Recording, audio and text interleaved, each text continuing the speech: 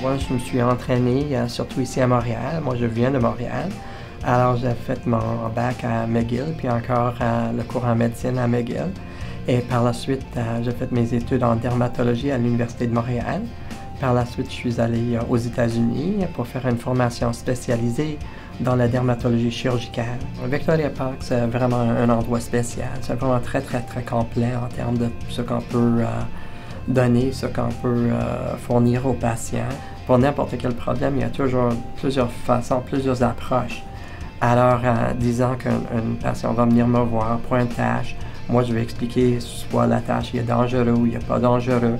Puis par la suite, on va savoir comment réagir, comment régler l'affaire, selon soit si le problème c'est surtout esthétique ou surtout, ou surtout médical. C'est vraiment un endroit qui est unique. Euh, c'est vraiment un des seuls endroits où on peut offrir tous les services en, en dessous d'un seul toit.